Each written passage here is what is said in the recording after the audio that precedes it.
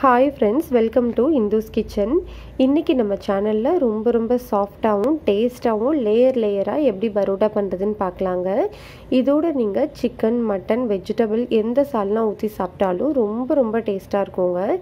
இந்த ரெசிப்பியை நம்ம பார்க்குறதுக்கு முன்னாடி நம்ம சேனலை சப்ஸ்கிரைப் பண்ணாதவங்க ப்ளீஸ் சப்ஸ்கிரைப் பண்ணிக்கோங்க. கூடவே பெல் ஐக்கானையும் கிளிக் பண்ணிவிட்டு ஆளுங்கிற பட்டனையும் கிளிக் பண்ணிக்கோங்க. அப்போது தான் நம்ம சேனலில் போகிற வீடியோஸ் எல்லாம் உடனே உடனே உங்களுக்கு வரும். ஃபர்ஸ்ட் வந்து ஒரு பவுலில் மைதா மாவு எடுத்துக்கலாங்க. நான் இன்றைக்கி நானூறு கிராம் அளவு மைதா எடுத்துருக்கிறேன். இதில் வந்து எட்டுலேருந்து ஒன்பது பரோட்டா செய்யலாங்க. இப்போ இதில் ஒரு அரை ஸ்பூன் அளவு உப்பு அரை ஸ்பூன் அளவு சுகர் சேர்த்துக்கலாங்க. நம்ம சுகர் சேர்த்தோன்னா தான் நம்மளுக்கு ஹோட்டலில் எப்படி பொன்னிறமாக இருக்குமோ அதே மாதிரி நம்மளுக்கு பரோட்டா கிடைக்கும். இப்போ இதை நல்லா மிக்ஸ் பண்ணிவிட்டு இதில் ஒரு ஸ்பூன் அளவு எண்ணெய் சேர்த்துக்கோங்க. எண்ணெய் சேர்த்துட்டு நல்லா மிக்ஸ் பண்ணி விட்டுருங்க.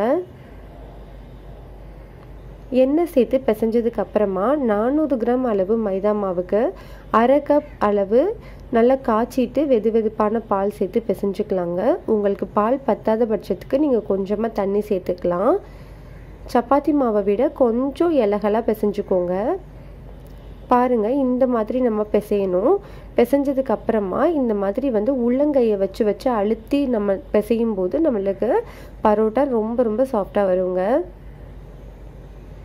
இப்போ நம்ம பிசைஞ்சதுக்கு அப்புறமா இந்த மாவில் எல்லா சைடுமே படுற மாதிரி எண்ணெய் தடவி விட்டுறலாம். இப்படி நம்ம எண்ணெய் தடவும் போது பரோட்டா ரொம்ப சாஃப்டாகவும் இருக்கும். மாவும் நல்லா ஊறி வரும். நம்மளுக்கு தேய்க்கிறதுக்கு ரொம்ப ஈஸியாக இருக்கும். இப்போ எண்ணெய் தடவினதுக்கு அப்புறமா இதை ஒரு மூடி போட்டுட்டு மூணு மணி நேரம் ஊற வச்சிடலாம் மூணு மணி நேரத்துக்கு அப்புறமா எடுத்து திரும்ப நல்லா வந்து ஒரு மூணுலேருந்து அஞ்சு நிமிஷம் நல்லா பிசைஞ்சு விடுங்க.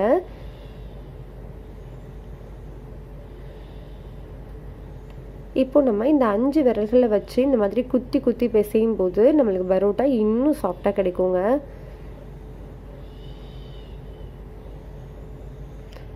பாருங்கள் இந்த மாதிரி நம்ம நல்லா வந்து பிசைஞ்சதுக்கு அப்புறமா ரெண்டு கைகளையும் யூஸ் பண்ணி மாவை மேலே இருக்கிற மாவை உள்பக்கமாக திருப்பி திருப்பி திருப்பி பண்ணும்போது நம்மளுக்கு நல்ல பால் மாதிரி நம்மளுக்கு மாவு வந்துடும் அப்போ நம்மளுக்கு பீடா செய்கிறதுக்கு ரொம்ப ஈஸியாக இருக்கும். பாருங்கள் இந்த மாதிரி ரெண்டு விரல்களை வச்சு அழுத்தம் கொடுத்தீங்கன்னா அழகாக வெளியில் வருது பாருங்கள் இது தாங்க பீடா. இதே மாதிரி நம்ம செய்கிறதுக்கு இந்த கட்டை விரல் இருக்கு இல்லையா? கரெக்ட் கட்டை விரலை வச்சு வச்சு உள்ளுக்குள்ளே மாவை தள்ளுங்க. மேலே இருக்கிற மாவை உள்ளே தள்ளி விட்டுக்கிட்டே இருந்தீங்கன்னா ரெண்டு விரலை வச்சு ப்ரெஸ் பண்ணும்போது அழகாக நம்மளுக்கு பீடா கிடைக்கும்.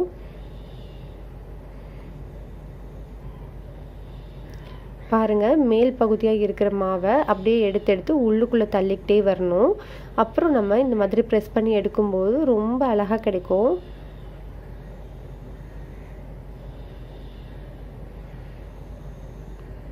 இப்போ நம்ம கடைசியாக இருக்கிற மாவை இந்த மாதிரி உள்ளுக்குள்ளே கட்டை விரலை வச்சு வச்சு தள்ளிகிட்டே இருக்கும்போது அழகாக இதுவும் சூப்பராக பீடாக ரெடி ஆகிடுங்க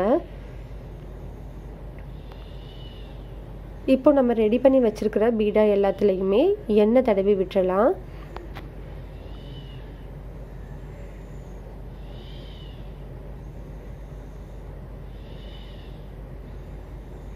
எண்ணெய் தடவினதுக்கு அப்புறமா இது அப்படியே ஒரு ஈர துணியை இது மேலே போட்டுட்டு ஒரு இருபது நிமிஷம் நல்லா ஊற விட்டுறலாம்.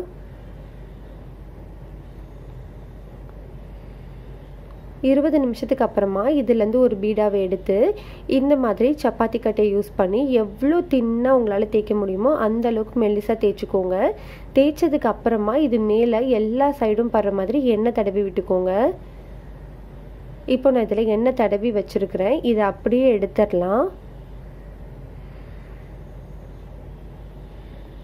எடுத்துட்டு நம்ம இந்த நாலு விரல்களை யூஸ் பண்ணி நல்லா சுற்றிக்கோங்க கடைசியாக வர எண்டை நல்லா முடிச்ச மாதிரி உள்ளுக்குள்ளே தள்ளி விட்டுறலாம்.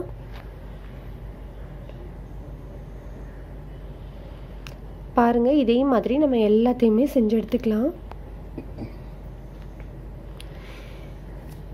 இப்போ இப்போ நம்ம செஞ்சதுலேருந்து ஒரு பீடாக எடுத்துக்கலாங்க. எடுத்துட்டு இப்போ நம்ம இதை அப்படியே வந்து அழுத்தம் கொடுத்து நம்ம கையாலேயே நல்ல பரோட்டாவை விரித்து விட்டுறலாம்.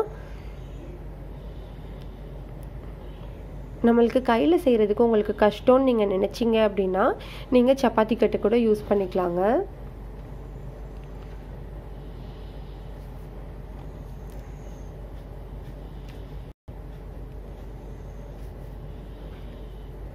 பரோட்டா வந்து ரொம்ப மெல்லிசாகவும் இருக்கக்கூடாது ரொம்ப கனமாகவும் இருக்கக்கூடாது. மீடியம் சைஸில் பார்த்து தேய்ச்சிக்கோங்க. அப்போது தான் நம்மளுக்கு நல்லா லேயர் லேயராக வரும்.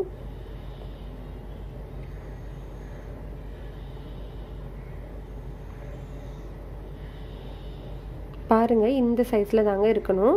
இது எல்லாத்தையுமே நம்ம ரெடி பண்ணிக்கலாம். இப்போ நம்ம ரெடி பண்ணி வச்சுருக்கிற மாவு எல்லாத்தையுமே பரோட்டாவாக செஞ்சு எடுத்துடலாங்க. இப்போ நம்ம தோசை தவாவை நல்லா சூடுபடுத்திட்டு மிதமான தீயில வச்சு ரெண்டு சைடுமே வேக வச்சு எடுத்துக்கலாம். பாருங்கள் நம்ம சுகர் சேர்த்ததுனால தான் இந்த மாதிரி பொன்னிறமாக நம்மளுக்கு ஹோட்டலில் கிடைக்கிற மாதிரியே இருக்குது பாருங்கள் இப்போ ஒரு நாலு பரோட்டா செஞ்சதுக்கு அப்புறமா நம்ம சூடோடையே எடுத்துடலாம். எடுத்துட்டு ரெண்டு கைகளையும் வச்சு நல்லா அழுத்தி இந்த மாதிரி தட்டி தட்டி விட்டிங்கன்னா நம்மளுக்கு அழகாக லேயர் லேயர் மாதிரி கிடச்சிருங்க.